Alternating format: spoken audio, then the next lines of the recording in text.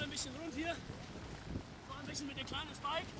Aber wann wir nach St. Peter-Ording gehen, dann gehen wir nicht mehr inkognito wie so, dann gehen wir normal.